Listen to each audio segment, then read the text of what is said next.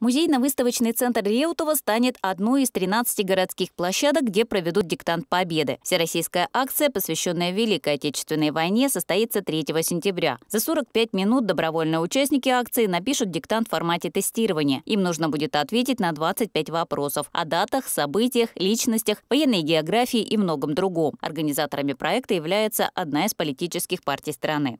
В этом году мы отмечаем 75 лет Победы. И у нас э, на нашем площадке открыта выставка памяти Славы Реутова.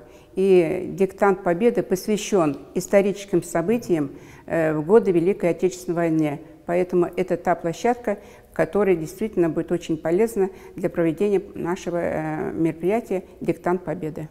Легкое прикосновение к экрану телефона и перед нами конечная цель – Риотовский музей. Вход в учреждение культуры с гаджетами и наушниками только приветствуется. Так будущие площадки диктанта Победы воплощают в жизнь проект «Говорящие музеи Московской области». Теперь с постоянными экспонатами центра риотовчане и гости города могут знакомиться самостоятельно, а точнее с помощью аудиогида. Например, узнать этимологию названия Риотова.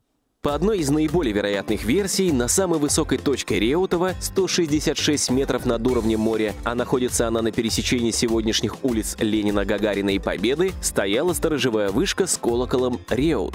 Это был один из 12 видов колоколов, отливаемых в те годы на Руси. Мультимедийные технологии вошли в жизнь музея во время карантина. Самой весны специалисты центра размещают на сайте учреждения и в соцсетях свои виртуальные онлайн-мастер-классы, музыкально-поэтические вечера и видеоэкскурсии, а теперь работают и над проектом «Говорящие музеи Московской области».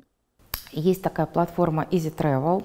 Вы скачиваете на свой телефон приложение, и те музеи, которые подключены к этой платформе, представляют там свои экскурсии. Думаем о том, чтобы нам сделать не только по музею, но и по городу.